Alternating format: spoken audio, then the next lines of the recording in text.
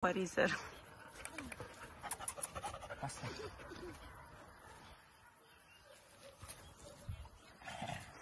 Nu ți-o da, hai.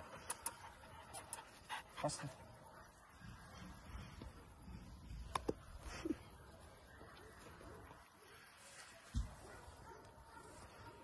Unii dintre ei au traume cu bărbați din cauza Da, da.